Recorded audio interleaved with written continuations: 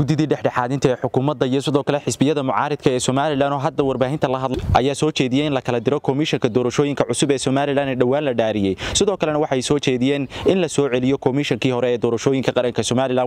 Waxaana ay sheegeen in komishankaasi hore ay khibrad badan u leeyihiin qabashada doorashooyinka. Maanta oo ay bishu tahay lix iyo tobankii disembar. Waxaanu soo jeedinaynaa haddaanu nahay guddiga dhexdhexaadinta qodobada soo socda kow guddigii cusbayd ee komishanka in la kala diro iyada iyaka oo khilaaf la kowsaday labo in la soo celiyo guddidii hore ee komishanka annagoo ku sababaynay khibradda iyo tababarka ay leeyihiin labadanaba in la waafajiyo shuruucda dalka u yaalla saddex jamhuuriyadda somalilan waxay ku dhisan tahay fulin sharci dejin iyo garsooraha iyo garsoor.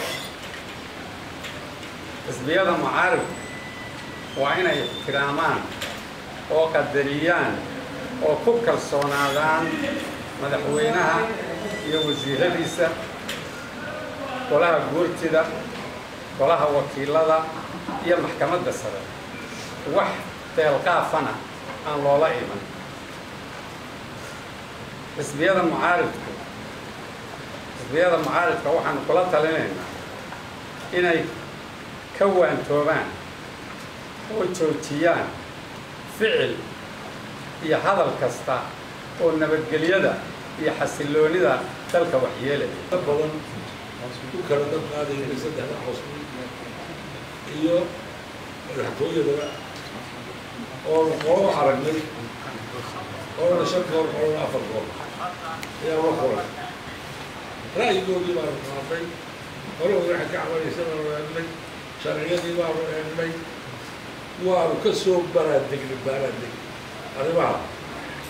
Markaanu ka baaraandegnay waxay nala noqotay sida uu joogiyo akriyay maanta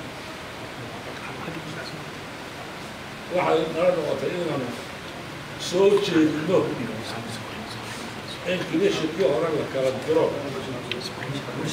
commissionkii dambe la kala diro kii dambe la kala diro sababtoo ah khilaaf buu ku bilaabay julliiba khilaaf buu ku bilaabay sidaa daraaddeed waxaa intaa noo raaca maalin baanu la. Kulannay annagoo sadaraho toddoba cisho nala sugaanu noo naga codsa ka codsanayo way naga aqbaleen haddana maalimaan dula isbedeleen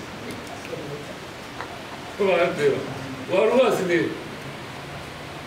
waxaa laga sheegayay anigu afkooda kamaa maqale rag ragga gabadha sheegaya barashar maana la saaray dee markaa hadhowna soo barashar la saari maayo markay doorasho timaado haddii barashar la saaraya markaa inta waa la saaraya sidaa daraaddeed khilaafka ay ku bilaabmeen iyo intaa aan taabteen dhamaynu marka alkashii laga qaadanay waxay nala noqotay in guddidaa la kala diro sii horena waa lagu gafeeyey la soo celiyey qodobadii aan isla gaadhay hal qodobun baanaan idiin sheegin qodobkii muddo fadhinta loo kordhiyey baarlamanada guddidu waxay isla garatay in xukuumadda xisbiyada iyo commissionka cusubee la soo sameeyaa ka wada hadlaan sida ugu wanaagsan iyo waktiga ugu habboon ee ummadda reer somalilan doorashay sugaysahay